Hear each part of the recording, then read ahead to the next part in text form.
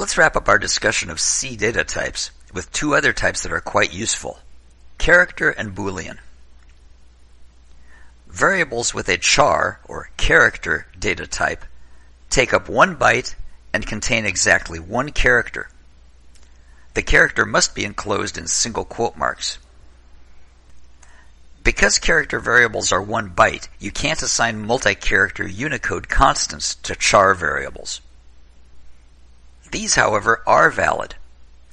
The backslash is the escape character. It says to treat the following character as special.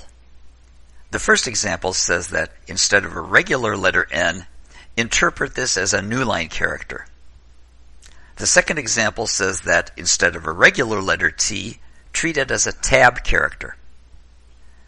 The next question. How would you put an apostrophe or a backslash character into a variable? The answer is use backslash again. It will escape these special characters and tell C to treat them as if they were ordinary characters. That's what the backslash escape character does. It makes ordinary characters special, and it makes special characters ordinary. To print a character variable, use the percent sign %C format specifier. Our last data type is the Boolean data type, underscore bool. The name starts with an underscore because it's a system level entity, and the B is capitalized because that is the convention for declaring data types, as opposed to ordinary variables. The Boolean data type is named after George Boole, an English mathematician who wrote about the rules of logic, using an algebra where your only values are true and false rather than numbers.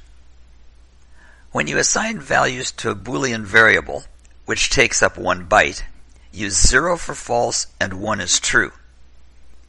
In fact, any non-zero value is considered to be true and will be translated to 1 when stored in the variable. But this is considered to be very bad programming style. Instead, stick to 0 for false and 1 for true. To print a Boolean variable, use percent sign %i.